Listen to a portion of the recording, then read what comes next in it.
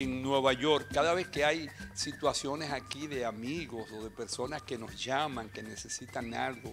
Marito, él está de cumpleaños eh, hoy, Marito Rondón, quiero que los muchachos me pongan la foto en pantalla, mírenlo ahí, un extraordinario ser humano, que Dios me le dé mucha vida y salud, mis abrazos desde aquí a ese hermano que es un ser humano, ya lo dije, extraordinario, muy bueno. Marito, felicidades hermano y voy a pasar a mi compañera Grisel Genao.